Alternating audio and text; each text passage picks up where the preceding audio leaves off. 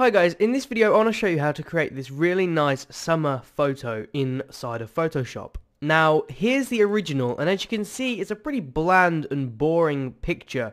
And quite frankly, I thought it needed just kind of sprucing up a little, like this image here.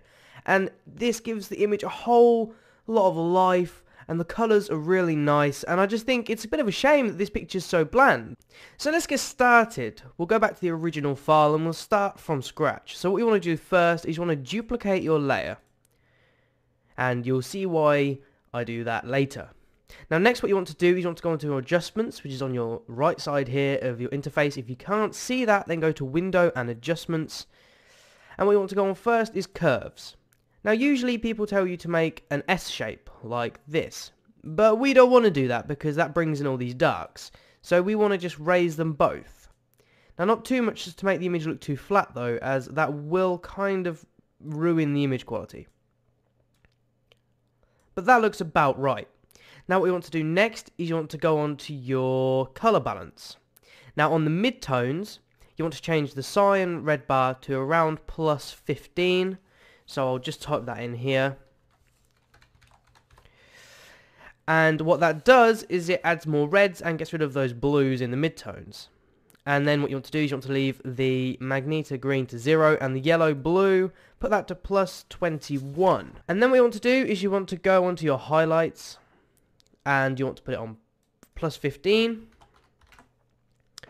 and the bottom to minus 18 and just leave the middle bar alone. We don't need to touch that.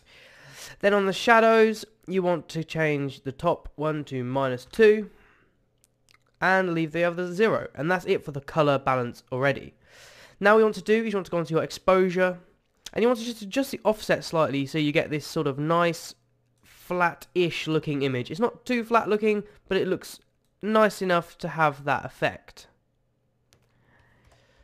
Okay, so what you want to do now is, this is where the copy comes into, you want to go to filter, my desk really isn't big enough, you want to go to filter, noise, and add noise. Now what that does is it adds this nice kind of retro sort of style effect to your picture, which does look really nice. Don't add too much noise, as it just looks ridiculous, like that, for example. But what I'll do is I'll add enough, just so I can lower the opacity here to what I want it to be. Now what you can do, if you like, is look at where the light's coming from and with your brush tool and select a size which is rather large, make a new layer, change the colour to white and then just put it right in the corner there. Now obviously there's no sun right there so you want to just lower that down a bit and maybe drag it into the corner a little more. But that does give off that really nice effect. Now this one from previously looks a little bit more sort of dreamy looking. That can be fixed by just playing around with the exposure and seeing what you want it to look like. And that's all it is to it really and making this nice summer photo. Obviously everyone's photo is going to be different. You can't expect everyone's to look the same because obviously each photo has different light properties and different color properties. So obviously what the, the, the adjustments I just gave you aren't necessarily going to work for your picture.